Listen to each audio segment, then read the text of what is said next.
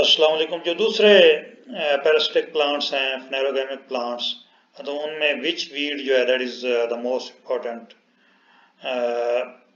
اس میں striga species ہیں۔ تو ان سلائڈ میں ہم بات کریں گے سمٹمز ڈیزیز سائیکل اور مینجمنٹ کے بارے میں۔ Which weed belongs to family Orobanchaceae and order Lamiales else جس کو سکروفلوریلز بھی کہا جاتا ہے۔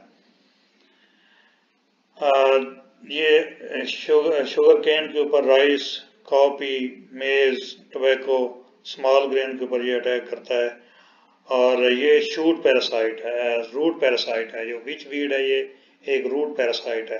تو سب سے پہلے یہ انیس سو چھپن کے اندر یو ایس اے کے اندر رپورٹ کیا گیا تھا۔ تو یہاں پہ اس کے سمٹمز کے بارے میں بات کریں گے۔ Infected plants become stunted wilted and turn yellowish تو فلاور سمال ریڈ یلوش اور وائٹ تو اس کے فلاور جو پرپل بھی ہوتے ہیں جیسے کہ آپ کو یہاں پہ نظر آ رہے ہیں لائٹ پرپل پرپل فلاور جو ہیں single plant can produce five thousand to fifty thousand seed تو یہ بہت امپورٹنٹ ہے اس لیے یہ بہت جلدی پھیلتا ہے جس فیلڈ کے اندر بھی آ جائے life cycle takes place in three months to four months this uh, dormancy of uh, seed can last for over 15 years. تو سیڈ جو ہے وہ ڈورمنٹ حالت کے اندر چلا جاتا ہے اور 15 ایئرس تک جو ہے وہ وائبل رہ سکتا ہے سیڈ اس کا یہاں پہ آپ دیکھ رہے ہیں کہ یہ میز کا پلانٹ ہے اور یہ وچ ویڈ ہے سٹریگا سپیشی تو اس کی روٹ کو اس نے پیرسٹائز کیا ہوا ہے تو اب یہ روٹ کو پیرسٹائز کیا ہوا تو یہ دیکھ دیکھ لیں آپ پودا جو اس کی گروتھ جو سٹنٹڈ ہے اور یہ اس کی یلوئنگ اور ویلٹنگ ہونا شروع ہو گئی ہے۔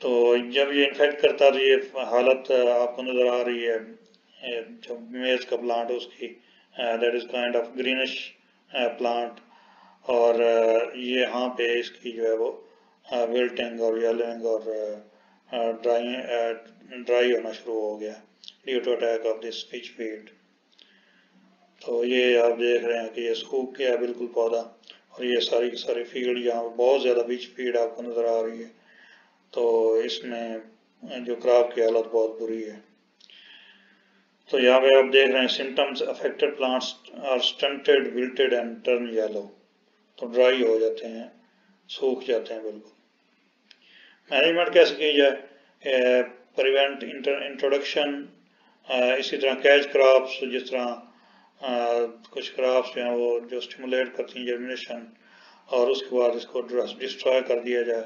ٹریپ کراپس جو ہے وہ لگائی جا سکتی ہیں جو کہ اس کی ہوسٹ نہ ہوں۔ جس طرح کراپ روٹیشن جو کی جا سکتی ہے اور ہربیسائڈ جو استعمال کیے جا سکتے ہیں۔ تو that was all about the witchweed and striga species. I hope you like this video. Thank you very much. Assalamu alaikum.